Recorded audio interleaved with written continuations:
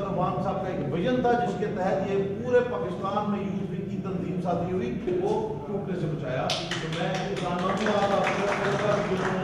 میں طور پر اتنا مضبوط نہیں ہوتا اس کے پاس اتنا تجربہ نہیں ہوتا اور ابھی اپنی اما بعد فلوز باللہ من الشیطان الرجیم بسم اللہ الرحمن الرحیم میں تک معاملہ جو ہے وہ لوگ اکٹھے کرنا ہے اور جانچ کرنے ہیں یا جو بھی پارٹی کا بن کے یہ تجربہ حاصل کرے تاکہ آنے والے وقت میں وہ پاکستان میں اپنا مثبت کردار ادا کرے۔ پاکستان کی مسلم لیگ نون جس نے آج تک پاکستان کو دیا ہی دیا ہے، لیا کچھ نہیں۔ سب سے پہلی بات یہ وہ جماعت ہے کہ جن کے آبا و اجداد نے، جن کے اسلاف نے، جن کے قائدین نے یہ ملک مارز وجود میں لانے کے لیے محنت کی تھی۔ جب یہ مارز وجود میں آیا تو آپ اس کی ہسٹری اٹھا کے دیکھ لیں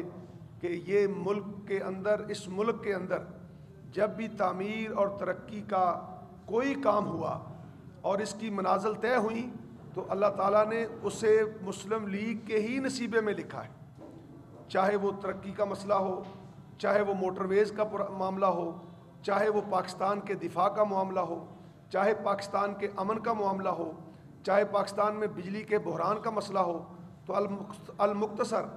یہ واحد جماعت ہے پاکستان میں، جو کہ فطرتی جماعت ہے۔ یہ اس کی نسبت جو پاکستان سے مسلم لیگ کی نسبت ہے، وہ کسی ایسی ویسی جماعت کی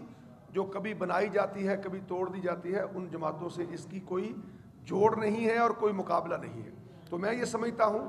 کہ چونکہ یہ جماعت پاکستان کی موسن جماعت ہے یہ جماعت پاکستان کو بنانے والی جماعت ہے، یہ جماعت پاکستان کو سنوارنے والی جماعت ہے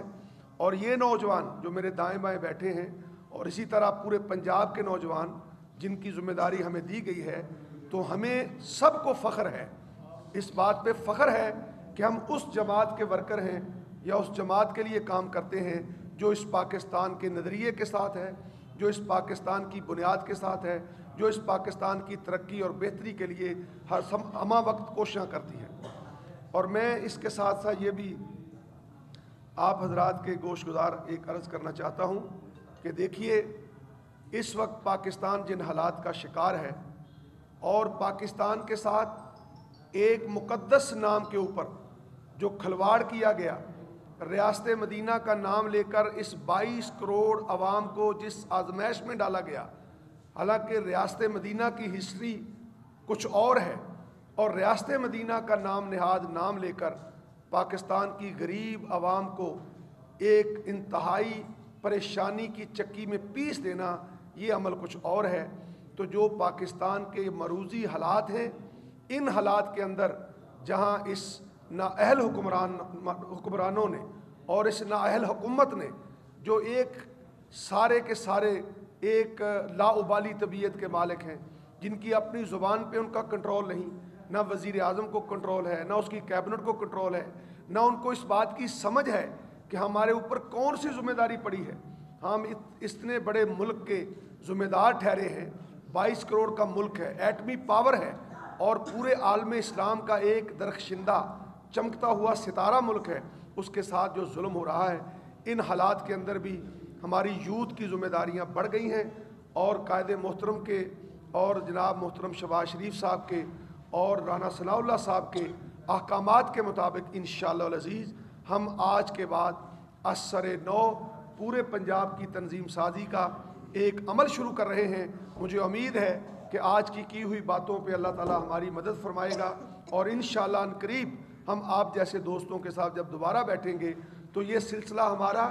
منزل کی طرف جاتا ہوا نظر آئے گا۔ یہ نہیں ہوگا کہ ہم پیچھے رہ رہے ہیں یا ہماری حالات جو ہے وہ آگے سے دگرگوں ہیں۔ اور انشاءاللہ جو ہی الیکشن کا اناؤنس ہوا، جو بائیس کروڑ عوام چاہ رہی ہے کہ دوبارہ سیٹ اپ آئے، نئے الیکشن ہوں، شفاف الیکشن ہوں، شفاف انتخابات ہوں، تو مجھے امید ہے کہ پاکستان مسلم لیگ نون کی یوتھ یوتھ ونگ، جو ایک ونگ ہے، ان کے نوجوان انشاءاللہ محمد نواز شریف کے لیے باقی تاریخ کو دہرائیں گے نہیں بلکہ آگے جائیں گے اور ایک ریکارڈ قائم کریں گے اور گلی گلی نگر نگر شہر شہر کوچا کوچا اپنے قائد کا اپنی جماعت کا پیغام پہنچانے میں کوئی کسر باقی نہیں چھوڑیں گے۔ بہت شکریہ۔ Okay sir thank you okay جی مبارک ہو صاحب۔ شکریہ سر۔